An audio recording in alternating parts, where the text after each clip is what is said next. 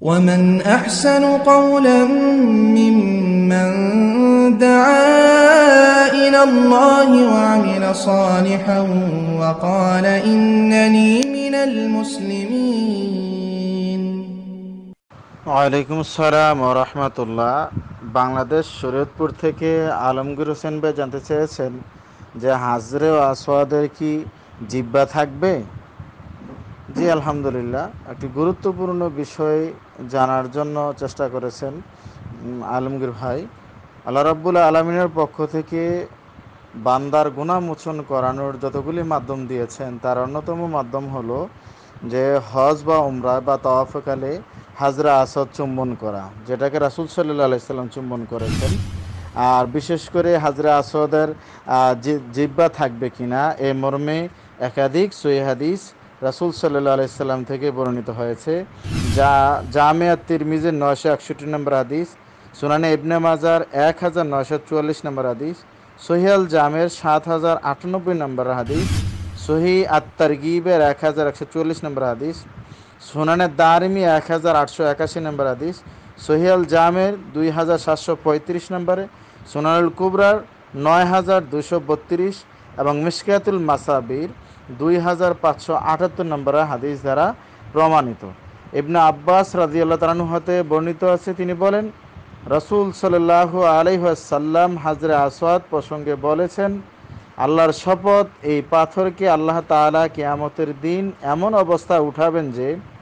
এর দুটি চোখ থাকবে যা দিয়ে সে দেখবে এবং একটি জিব্বা থাকবে যা দিয়ে সে কথা বলবে। যে লোক সত্য হৃদয়ে একে স্পর্শ করবে, তার সম্বন্ধে এই পাথর আল্লাহ তালার নিকট সাক্ষ্য দিবে। সুবাহান আল্লাহ বেহামদি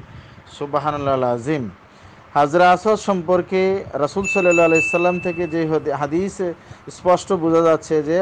কাল কেয়ামতের ময়দানে আল্লাহ রাব্বুল আলমিন এই হাজরে আসওয়াদকে এমন অবস্থায় উঠাবেন যে, এর দুটি চোখ থাকবে, যেই চোখ দিয়ে সে দেখবে এবং একটি জিহ্বা থাকবে, যে জিহ্বা দিয়ে সে কথা বলবে। অর্থাৎ যে লোক সঠিকভাবে বা আল্লাহ রাব্বুল আলমিনের সন্তুষ্টির জন্যই এটাকে স্পর্শ করেছে চুম্বন করেছে বা স্পর্শ করেছে। তার সম্বন্ধেই এই পাথর আল্লাহ তাআলার নিকটে সাক্ষ্য প্রদান করবে। সুবাহ আল্লাহ বেহামদি সুবাহ আজিম সুতরাং যেই এটা চুম্বন করবে, তার জনসন্তুষ্টি আল্লাহ রাবুল আলমিনের থাকে এবং সঠিক হৃদয়, সত্য হৃদয়ে যেন স্পর্শ করে, তাহলে তার পক্ষে এটা সাক্ষ্য প্রদান করবে হাজর আসওয়াদ আর যদি দুনিয়ার কোনো কিছু পাওয়া বা বাহাবা পাওয়ার উদ্দেশ্যে এটাকে স্পর্শ করে থাকে, চুম্বন করে থাকে, তাহলে অবশ্যই তার পক্ষে সেটা সাক্ষ্য প্রদান করবে না। সুতরাং রাসুল সাল্লাহ আলাইসাল্লামের সৈয়াদিস অনুযায়ী আমরা যারাই আহ, হজ করতে ওমরা বা হজে আহ, উম, গিয়ে উম, যাওয়া হয় বা যাবে আহ,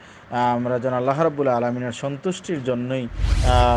ফ্রেশ মনে আহ, আহ, একদম পরিশুদ্ধ আত্মা নিয়ে সেটাকে স্পর্শ বা চুম্বন করার চেষ্টা করি আল্লাহ আলম আসসালামু আলাইকুম আ রহমতুল্লাহ نفسي بنور من فؤادي حينما رددت يا رب العباد وانتشت روحي وصار الدمع يجري